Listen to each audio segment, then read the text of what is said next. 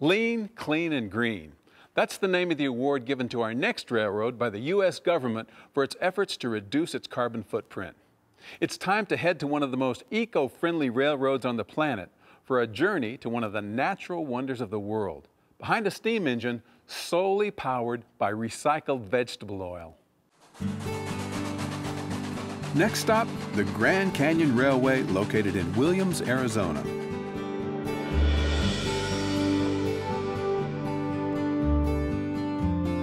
Over eons, the Colorado River relentlessly carved out these 30,000 acres of breathtaking beauty from flatland and gave us the Grand Canyon. 2,000 feet down, at the bottom, the river has exposed 2 billion year old rocks. To glory in this geology more than a century ago, you had to walk, ride a horse or a mule or a stagecoach to get there. But the door was flung open for everyone in 1901 by this.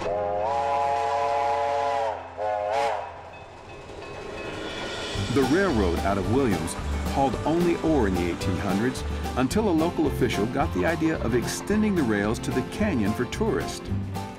The Atchison, Topeka, and Santa Fe made it happen, replacing a skull-pounding eight-hour stagecoach ride with a couple of hours on a restful train. And you might say people like it. It's a great way to get out of the car. Most of us travel by car all the time. We're in and out. It's very hectic.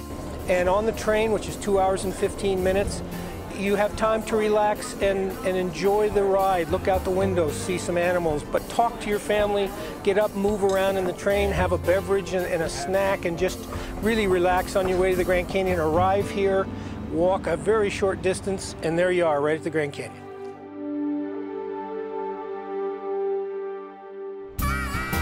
The Grand Canyon Railway has pumped up the volume of tourists taking the train by now offering four classes of service, coach, dome, first class, and luxury. The taste of luxury in the parlor car awaits you. Hors d'oeuvres on a plate and a sip of something. Or looking at the passing landscape with the wind in your hair.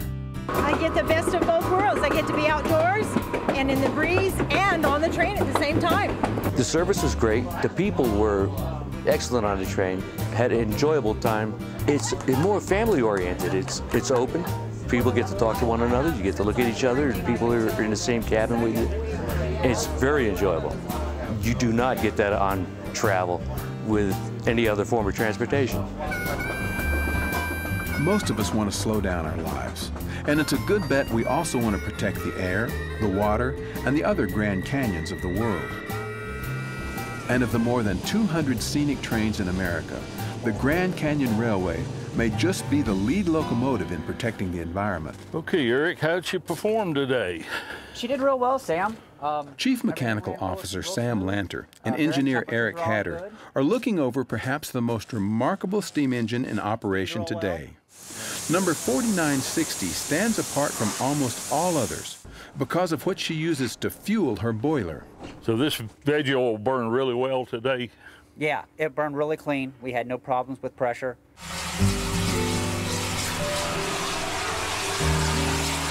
You heard right, veggie oil.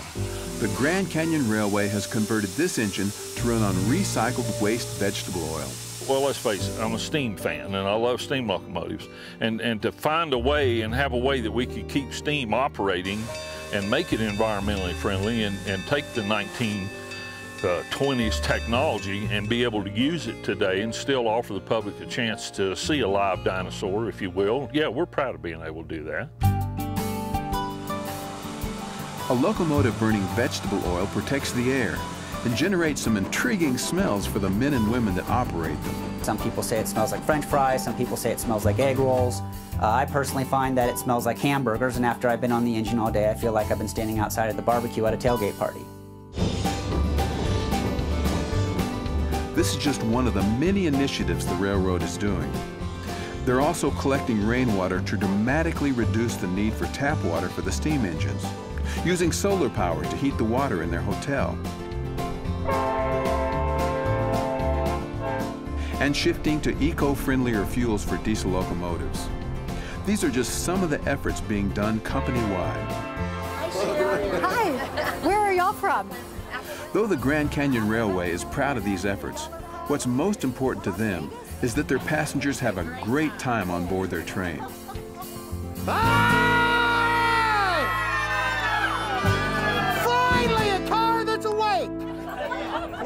As always, Grand Canyon Railway throws all kinds of entertainment your way to and from the canyon. Engineer Mike Brooks is at the controls today.